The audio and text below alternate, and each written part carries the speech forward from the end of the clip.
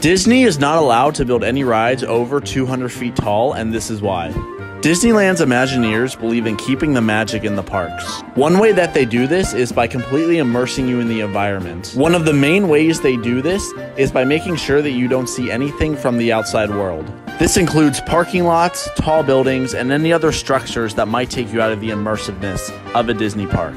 The reason that no ride can be over 200 feet is because if a structure is over 200 feet tall, they would have to put warning lights on the top of it for planes. This is why Cinderella's castle is 189 feet tall.